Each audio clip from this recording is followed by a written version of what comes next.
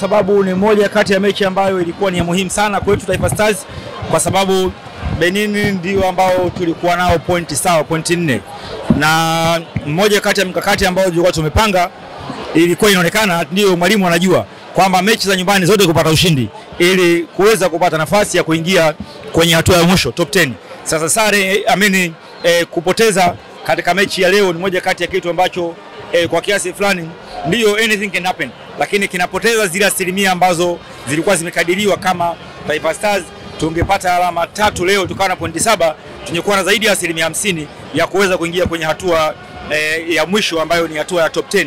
Sasa leo moja kati ya sababu ambayo imeonekana kwanza, kwa kiasi kubwa imeonekana leo utulivu ulikuwa ni wa kiwango cha chini sana. Sasa sijui mwalimu alikuwa amewaandaa wachezaji kisaikolojia kwa kiasi gani.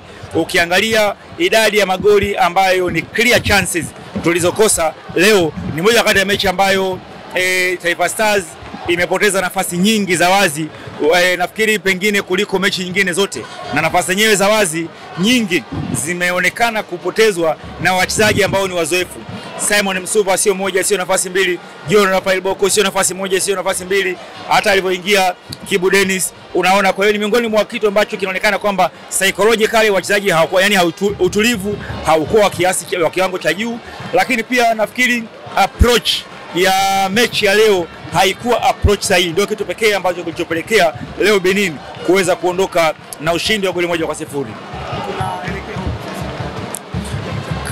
Of course mechi ya marudiano itakuwa ni ngumu zaidi kuliko ni mechi ya hapa, kwa sababu ukiangalia aina ya mpira ambao wanacheza Benin e, walio wengi, ukiangalia kwa ushindani wa yani kwenye physical battle, ile migongano sorry,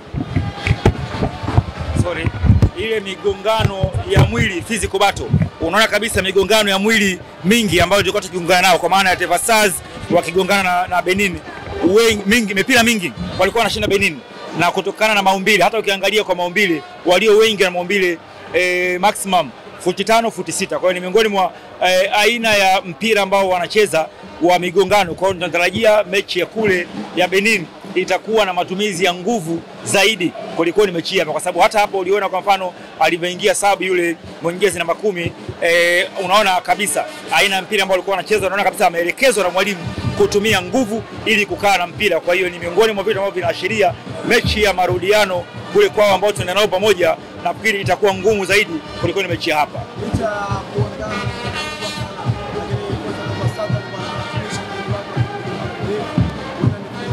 Mipira mirefu haikuwa na faida kwa sababu zaidi ya asilimia tisini ya cross zilikuwa zinapigwa, karibuni zote walikuwa wanacheza walinzi wa Benin kwa sababu wana manufaa kwanza ya urefu, lakini pia wao walionekana wako bora zaidi eh, kuliko ni washambuliaji wetu, na hata baada ya John Boko kutoka ni mpira mmoja tu ndio ule pengine ambao aliopiga eh, Samata ndo, lakini cross nyingine karibuni zote walikuwa wanacheza. Kwa hiyo mipira ya juu haikuwa na manufaa kwa sababu mingi walikuwa wanaicheza walinzi wa Benin kuliko ni washambuliaji wa Taifa Stars.